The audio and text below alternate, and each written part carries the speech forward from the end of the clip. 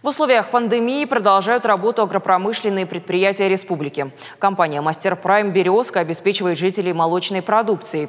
Предприятие с полным циклом производства от заготовки кормов до переработки молока ни на день не остановило производство. О работе агрохолдинга расскажет Галина Григорян.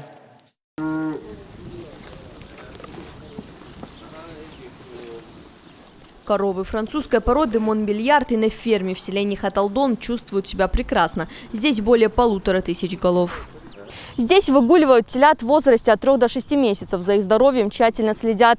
На ушах каждого теленка есть специальная желтая бирка с информацией о животном. Каждый сезон им проводят вакцинацию и профилактику болезней. Здесь же на ферме производят кормовую базу. Все этапы производства продуктов проходят на самом предприятии. Благодаря этому оно продолжает работать в привычном режиме, несмотря на эпидемиологическую обстановку. У нас в комплексе только одна порода, Монбильярд. Это очень уникальная порода коров.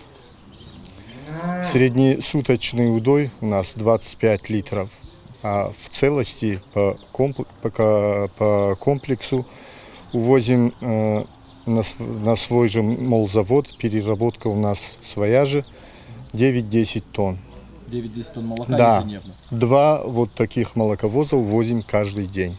Молоко получают в стерильных условиях. За соблюдением санитарных норм строго следят. После молоко перерабатывается на собственном молокозаводе «Березка». Наша съемочная группа как раз успела к розливу йогурта. А всего компания выпускает несколько десятков наименований различных продуктов. По словам сотрудников, работать в условиях пандемии коронавируса стало сложнее, но о покупателях не забыли.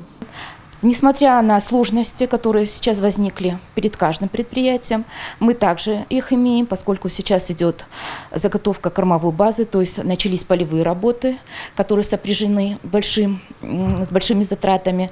Тем не менее, мы понизили а, цену на всю реализуемую продукцию в наших фирменных магазинах.